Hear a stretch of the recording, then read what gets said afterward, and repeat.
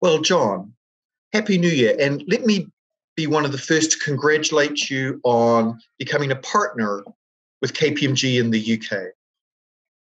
Thanks, Rodney. It's a um, yeah, it's a huge privilege. I started with the firm as a graduate, so to kind of make partner, you know, I'm absolutely delighted about it, and I have the you know I get to work with some absolutely fantastic clients, so it's brilliant news. Well, well done and well deserved. And talking about working with fantastic clients, there was a whole slew of stuff coming out on UK taxes over the Christmas break. Just a lot of stuff. When you talk with clients, what's top of mind in those discussions?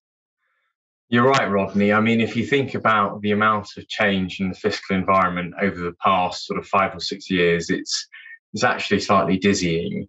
And you know what we're really engaging our clients in is taking a step back and thinking about their corporate legal holding structures and whether they're actually you know fit for purpose and robust mm-hmm. i think that's really the key thing that's sort of top of mind at the moment with our clients so you know one of the things that we're spending a lot of time on is actually running workshops where we're giving our clients that space you know to actually take a couple of hours out of their busy day to day to be in a room with their trusted advisors to really you know go through each component of their legal corporate structure. And that's quite a broad term right? So by that i mean not just your legal holding structure but also your external you know your internal financing you know what your ip arrangements look like and also your treasury and really you know challenge each component and see whether it really sort of stands up to all the legislation that has come down the track in the past couple of years. And then it's kind of performing a gap analysis. So understanding, you know, whether the you know what the client's priorities and objectives are and then whether their structure is really meeting those and helping them kind of identify opportunities to improve well it's interesting because with all these changes it's hard enough just for people to focus on operating their business, let alone complying with these and understanding how to to change in a new world on a dime. Yeah, and I think that's right. I think as tax advisors, sometimes we forget how how difficult it is actually for our clients to take that step back and think strategically about their structures from a long term view rather than just kind of firefighting in what the next request is that's coming through the door. So, I mean, we've had some great feedback from our clients so far, and it can really help them actually manage their, you know, senior stakeholders because as we know, tax is now a C suite issue. So, actually having those early conversations, so you can go to the CFO, and when they ask, you know, have you really kicked the tires, you can say, yes, and this is what we've done, and this is our thinking. You know, so I think it's really good for senior stakeholder management as well.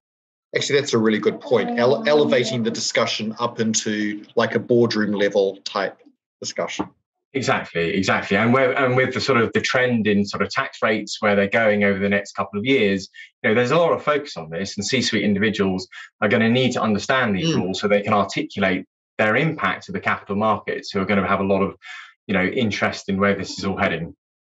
Interesting. And you just mentioned about where things are going. So let me put you on the spot and do some admittedly unscientific crystal ball gazing. So as you sort of talk to folk about where things are going, where are things going in your mind, John?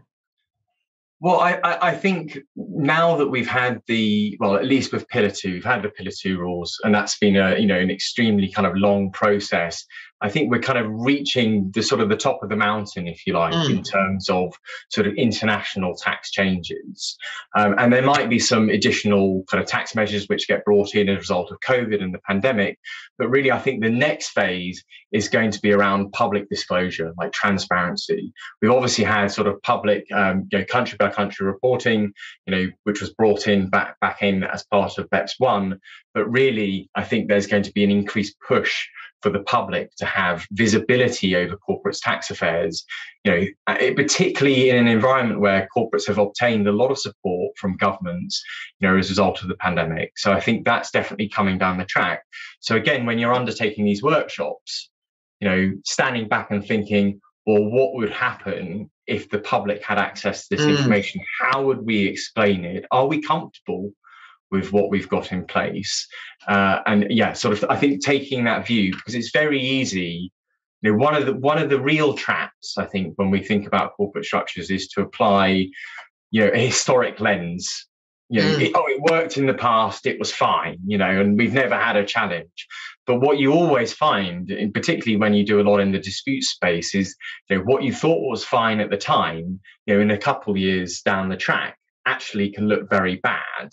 And so, you know, really sort of thinking forward and being very cognizant of how you know societal norms can change, how mm. the tactical landscape can change, and how sort of politics can change. I think you know it's it's there's a lot to think about. So that's a really interesting point to end on, John. That thought of, I mean, there's really nothing to hide, but just how do you articulate what you're actually doing and yeah, have a forward mindset? Yeah. That's exactly right. I mean, there's nothing nefarious going on. It's just like, well, does you know, how would you explain this and create a you know a clear and compelling narrative which makes sense?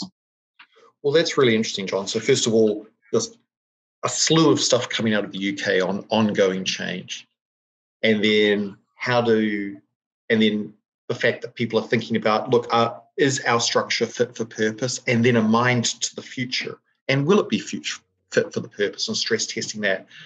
I can only imagine this is keeping you super busy, John.